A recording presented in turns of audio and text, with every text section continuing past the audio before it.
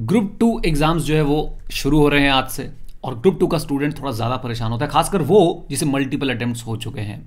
मेरी बातों को ध्यान से सुनिएगा, और क्या पता ये छोटी सी वीडियो जाते जाते आपको मोटिवेट कर दे, आपको गाइडेंस दे दे, जिसकी वजह से शायद आपका आज का एग्ज़ाम बहुत अच्छा हो, और फिर पूरा ग्रुप टू जो है अच्छा हो।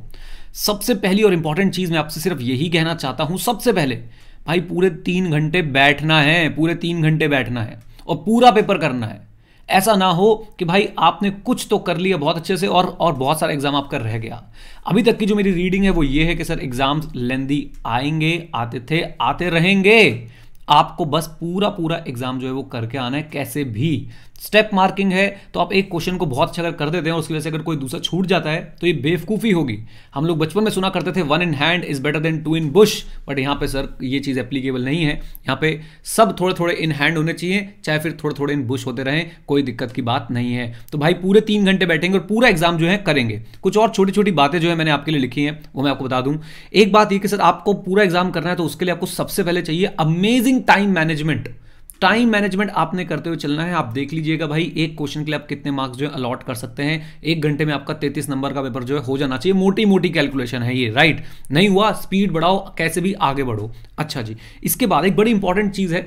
देखिए स्पीड की जब हम बात करते हैं तो speed leads to panic at times देखिए, हमने पैनिक भी नहीं करना तो एक गुड बैलेंस हमें बनाना है, और गुड बैलेंस कैसे बनेगा? सर, जो क्वेश्चंस आपको बहुत जितना आते हैं, वो सबसे पहले करें, और लास्ट में जाए उन क्वेश्चंस को जो शायद आपको बिल्कुल नहीं पता है. अगर आपको कोई भी ऐसा क्वेश्चन नहीं दिख रहा जिसके आपको सारे पार्ट बहुत जितने आते हैं सो आई विल रिकमेंड कि सर, फिर से वो क्वेश्चन उठा लें, जिसके आपको जो पार्ट्स आते हैं, वो बहुत अच्छी तरह आते हैं तो उनको हम सबसे पहले करना शुरू कर देंगे. And yes sir accounts accounts हमेशा से एक अपॉर्चुनिटी है अच्छे नंबर स्कोर करने की एग्जामिशन लाने की, अपने ग्रुप के जो बाकी एग्ज़ाम्स हैं, जैसे कि आपका फेवरेट है E I S S M उसके पाप धोने की एक अपॉर्चुनिटी है अकाउंट्स सो प्लीज़ इसको पूरी कोशिश करके जाएँ कि भाई 60 प्लस तो लाने ही लाने हैं किसी भी हाल में। और आपने बहुत तैयारी करी है अब आपको टेंशन लेने की ज़रूरत नहीं है। इट्स जस्ट दैट कि अगर आप लोग एग्ज़ाम पूरा नहीं करते हैं अगर आप तीन घंटे पूरा नहीं बैठते हैं अगर आप हार मान जाते हैं बीच में अगर आप छोड़ देते हैं एक पेपर का कुछ पोर्शन तो आपको घबराने की ज़रूरत है अदरवाइज़ नहीं। सो so, अपने दिमाग में बस एक ही बात डाल के जाओ मेरी ज़िंदगी में सिर्फ़ एक ये पेपर है जो मैंने देना है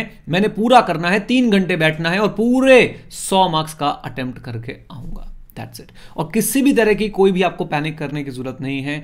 आप टाइम बनाते हुए चलें, एक क्वेश्चन बहुत पास पहुँच गया, अगर बैलेंस शीट मैच होने वाली है या फिर आंसर निकलने वाला है, एक आध मिनट एक्स्ट्रा दोगे, चलेगा। लेकिन इसके अलावा सर अगर आप उसे वहाँ पे ज़्यादा समय और दे देते हैं तो वो आपके बाकी क्वेश्चन को सफ़र कराएगा। यही है इस वीडियो का जेस्ट राइट गाइज़ और बाकी यार, कोई टेंशन की बात नहीं एग्ज़ाम दे के आओ, बैठेंगे, दोबारा अगले पेपर की तैयारी करेंगे ऑडिट की आई की एफ़ की। राइट आपने एग्ज़ाम जब दे तो उसके बाद से तुरंत वो पेपर वहीं छोड़ा है उसको लेके ना आए अपने पास। वैसे ही कोरोना चल रहा साइड में, क्या जाना। ठीक है जी? चलिए जी thank you very much guys stay connected stay है जय हिंद। और हाँ सीखते रहें, क्योंकि सीखना बंद तो जीतना बंद। पूरा पेपर करके आना। ठीक है? चलो bye bye and take very good care of your health take very good care of health of your parents and exams देते रहो। Bye all the best